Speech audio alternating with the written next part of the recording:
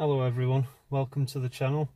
In this video I'm going to be taking an in-depth look at Android Auto in my car. Now the car I've got is a Seat Leon 2017 although it doesn't really make any difference because Android Auto is the same in any car. Um, so what we're going to be doing is looking at all the different settings, what you can do with it, how it sort of helps make it a lot more convenient to use your phone whilst keeping your eyes on the road, as that's the whole point of it really. So what you're looking at now is the main sort of home screen. It's kind of like Google now on your phone, um, but arranged slightly differently just to make everything a lot more convenient to use. So on your home screen, it's it uses the cards method like Google now does on your phone. You can see there we've got the weather, any sort of messages that have come up. Uh, you can see I've got one there from my brother, so you can click play and. David I want it says camera photo. Do you want to reply? No. Okay. I will uh, send a message later and show you how easy that is to do. Um, but for the time being, we'll just sort of go through all the menus and see what it's all about. So first things first, you've got these five icons down here. That one's your map, which is Google Maps. Um, you've got your phone button there. That's your main menu button, and that's your music. And that one just takes you back to your main sort of car interface, which, for the record, is that. So we'll go back into Android Auto and we'll work his way along. So first thing is Google Maps. You click that there and it it's in dark at the moment. Normally it's light but because it's getting dark it's sort of dimmed everything down a bit so it doesn't sort of strain your eyes when you're driving. But from there it's quite simple really. You could anything you can do on your phone with regards to Google now you can do in the car. It, it passes everything straight over it, so we'll click that. Navigate to Asda. Showing results for Asda. So all you have to do is just click any of those, click the navigate button, and you're on your way. Um, what have we got in here then? So you can turn certain things on and off. Traffic, I always like to leave that on. Why not? Um, click on there, it'll show all the recent places that you've been to, or you can filter by categories. So next we will go into phone. Now in here you've got, it'll show all the uh, recent phone calls that you've made and you can click on any of these and it'll show all the different uh, numbers that's associated with that contact. You, you've got access to your voicemail, you can dial a number straight from the home screen and go back out of that. You've got call history, your missed calls, etc. So that's the home screen. Now you, you've got access to music, which is basically any sort of um, well, I, I, the only ones that I know that are supported at the moment Spotify and Google Play Music because they're the ones that I've got installed on my phone. There probably are more that are available, but in this example, we'll be using Spotify.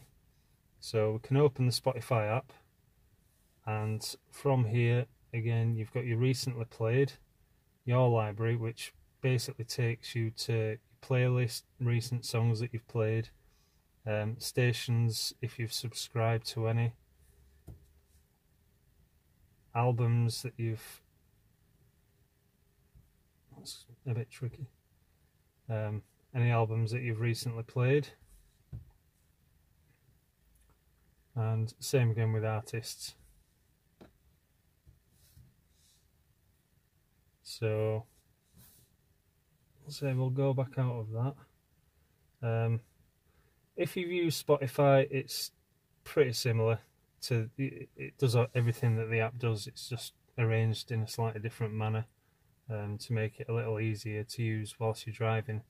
There is one thing to point out though, when it's different now that I'm not actually driving, but when you are driving, Android Auto does know that you're driving, and it I don't know the exact number, but say if you if you're floating through, you'll open Spotify, click recently played, click a playlist. You might be scrolling up and down, um, and it'll probably allow about 10 clicks before it'll pop up with a message saying that it'll it basically stops you from navigating the menus because it is there to try and make it convenient to navigate and get tasks done whilst you are driving but again it does realize that you're spending a bit too much time on it and it disables that so that you yeah sort of um, doesn't keep your eyes off the road for too long. It'll allow you to do a few clicks and just, you know, here and there so you can quickly get something done. But if it realizes that you are doing,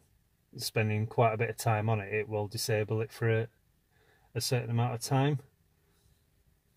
So just to point that out. Um, and oh, let's see what else you can do. So if we say go back onto the main screen, um, I've got a button on my steering wheel which activates Google. Now I can just hold that down and it opens it up there. Or you can press the microphone button up here. So say if, well, I'm sure you've all messed around with Google now quite a lot by now. Um, let's see. What's the weather going to be like tomorrow? Tomorrow it'll be mostly cloudy, with a high of 2 and a low of minus 2 degrees Celsius. What's my agenda for tomorrow? No matching events found. Okay. What about Tuesday? Hold on, what did you need to know? You have one calendar entry on the 27th of February at 7.30 pm. The title is Morrison's Delivery. Yeah, we got to wait. So, yeah, that's just a small insight into what you can do on Android Auto. I mean, the possibilities are. Um, yeah, I don't think there's much more that I can really show you. I mean, it, it's quite basic in terms of how it looks and the interface and everything. I guess that's how it's meant to be. It doesn't really want you to spend too much time swiping and tapping everywhere to get something done. It's mainly all spoken. So let's try and send a message to my brother. Send a text. Who's your brother? David.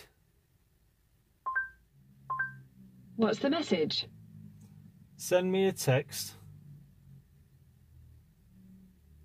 Here's your text to David Iwantschak. Send me a text. Do you want to send it or change it? Send. Okay. Message sent. So, as you saw there, quite easy to send a message. Um, hopefully, he'll reply back very soon. And yeah we can see what it looks like when a message pops up and take it from there. So as you can see it doesn't just um, pop up with your missed calls your messages um, whether you navigate in fact I'll just show you that one so say we wanted to navigate and I will just pick a random place up here. That's another thing you can do. You can just float around the map. Long holds long press wherever you want to go to. Click navigate.